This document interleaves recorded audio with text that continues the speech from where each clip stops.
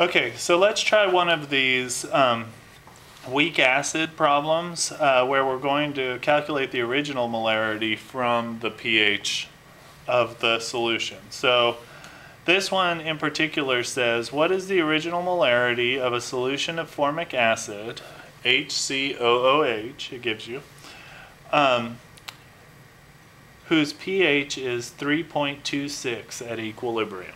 Okay, so the other thing that you have to know for this problem is the Ka, which is 1.7 times 10 to the negative 4, and it actually gives you a table where you need to find formic acid and find its Ka. Okay, so I've already written that up there for you.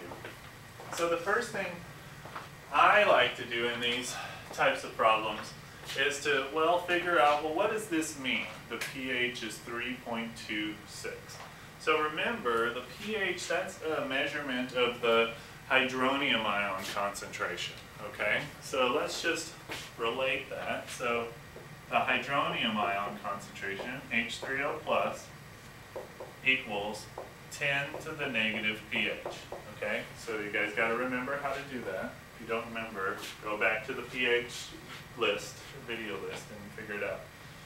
Okay, so then that's going to be 10 to the negative 3.26. So that's going to be our hydronium ion concentration. So let's do that together. 10 to the negative 3.26. And I get 5.5 times 10 to the negative 4 molar. Okay? So you got to do that first. So you can kind of think about, okay, where does this fit in?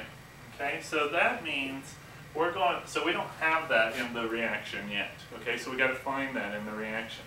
So that means this acid has to react with the base, and the base it's going to react with is water. So that's why I like to do this first to remind myself. Okay, that's what I was trying to tell you. Put water in there, put water in there.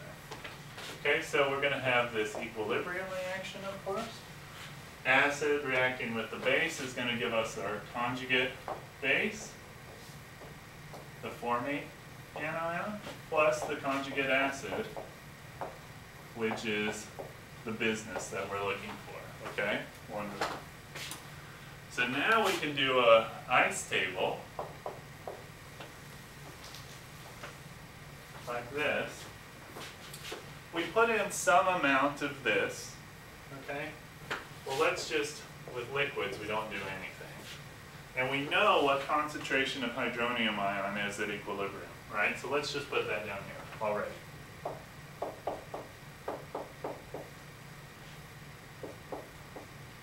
Okay, so did we have any of this to start out with? None, right? It didn't say. It just said we put in formic acid. So did we put in the conjugate base? No, because it told us we only put in formic acid, right? So we have 0 and 0. So that means this must have been plus x, right? That must mean this is also plus x, right? So that means that if this is only x, and this is only x, then this is 5.5 times 10 to the negative fourth 2. So it's kind of like you got to do some detective work, you know what I'm saying? Kind of imagine yourself, you know, um, uncovering new clues, you know, every time and saying, okay, if this must be this, then this must be this also. Because this is a one-to-one -one ratio here, right? Okay, so watch what happens here. This, we subtract x, right?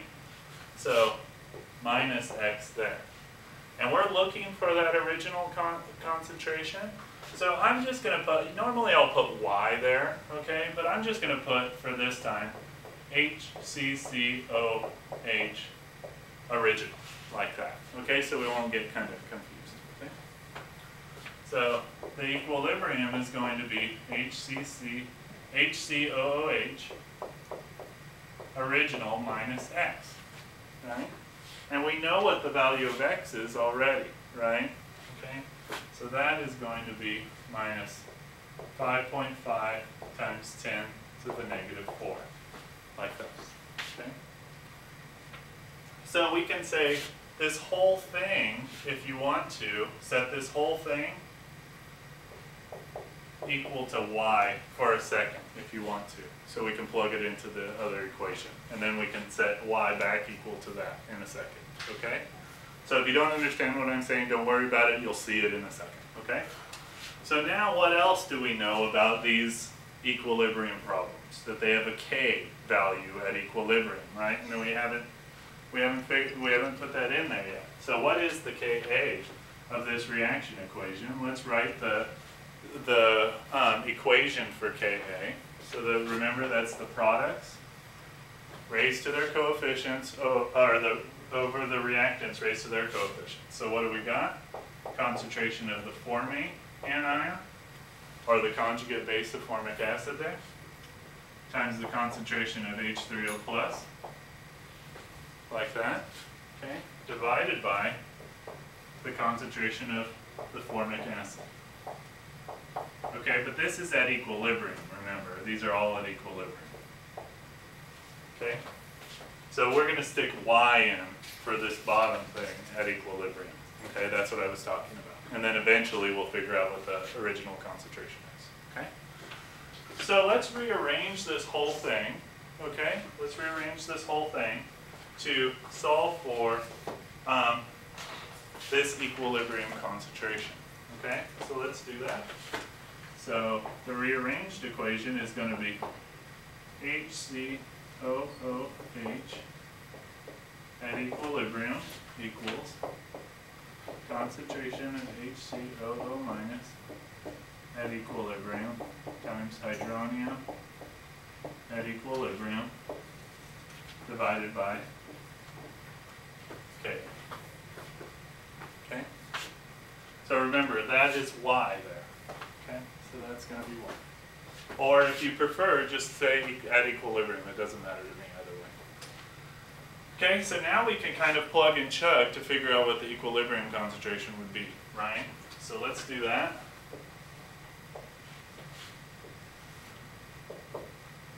So 5.5 times 10 to the negative 4.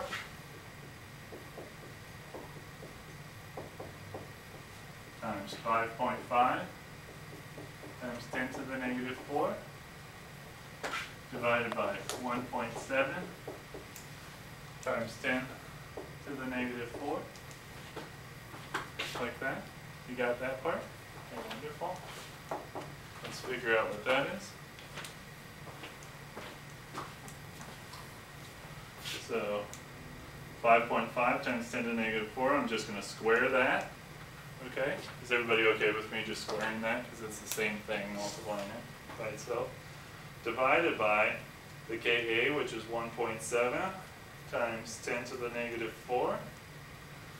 And what do I get for the equilibrium concentration, right? This is not the original concentration, it's the equilibrium concentration, is 1 point, and I'm just going to take this to three significant figures for right now, okay? And we'll round it in a little bit. 7, 8 times 10 to the negative 3 molar. That's the equilibrium concentration. But what do we know? The equilibrium concentration is the original minus x, right? So let's just rewrite, because a lot of people like math equations. Let's rewrite another math equation. So H C O O H at equilibrium, so that's going to be y there, okay, equals what? Um, this thing here, okay? So H C O O H O, or original, not, minus 5.5 times 10 to the negative 4. Do we know the value for this at equilibrium? Yes, it's that, 1.78 times 10 to the negative 3. Okay, so to figure out what the uh, original concentration is, it's going to be that equals the equilibrium value plus 5.5 times 10 to the negative 4. And this is molar, molar, okay? So this is going to be 1.78 times 10 to the negative 4 molar plus 5.5 times 10 to the negative fourth molar. Okay, and when we do that, we get 2, just to add these, I think it's 2.3. So plus 5.5.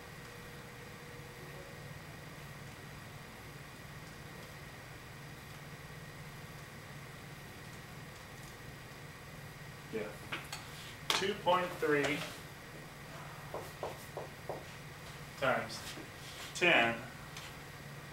Oops, this should have been a third, sorry guys. Times 10 to the negative third molar, like that, okay? So, sorry, that third is from over there. I just wrote down a, to the four, okay? So hopefully that doesn't confuse you. So we don't have to re-record this. Okay, are there any questions on that one? So it's kind of involved, you know, but um, again, it's more like if you know what this is, then you know what this is. And then from that, from the ice table, then you know what this is, so you must know what this whole thing is, okay? And all you need is this thing and this thing to figure it out. Are there any questions on that one? Questions? Okay, wonderful. Good job, guys.